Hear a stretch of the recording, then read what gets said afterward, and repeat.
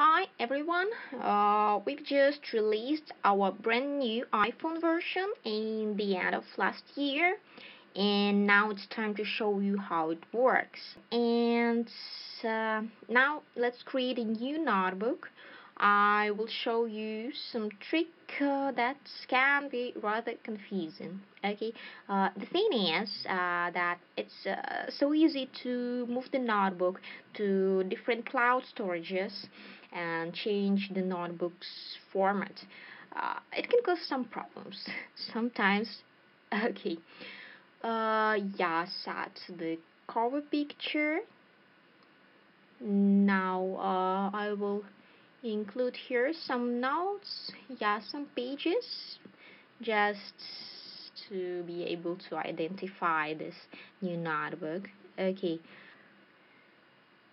Sections preferences uh, will appear when you tap edit and then this uh, gear icon near the section you want to edit.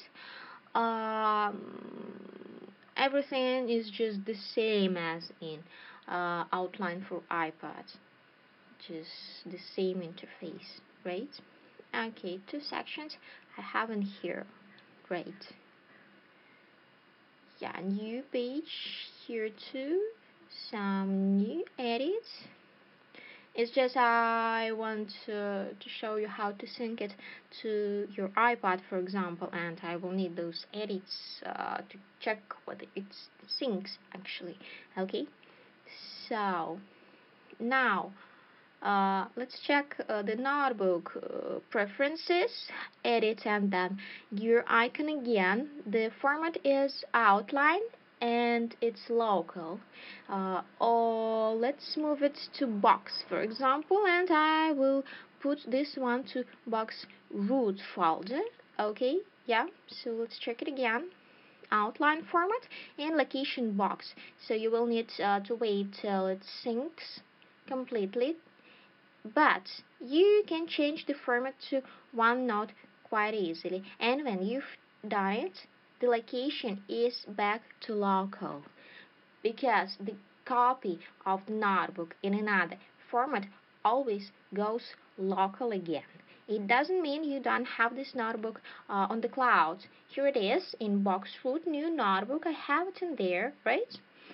Uh, and I cannot send this notebook in new format to Boxroot again, but I can save it uh, to another folder uh, in my Box account. So, what do we have? We have now two notebooks in my box folder. One is in outline format in boxes root and another is in OneNote format in my notebooks folder in box and they have the same name. That can be rather confusing. So if I want to uh, sync this notebook, I need to open the same copy the same notebook in the same format uh, from the same location. So uh, here is uh, some edit. I will need to sync it to another device. Okay, let's let's check this notebook on iPad. Okay. So, here is outline uh, let's try to open this notebook yeah it's box and to this notebook new notebook yeah just wait a little bit till it sync and here it is yeah done but I don't have my latest edits so what's the problem? What happens? Why? Well, the edits were in my OneNote format notebook and this one in the root folder is in outline format.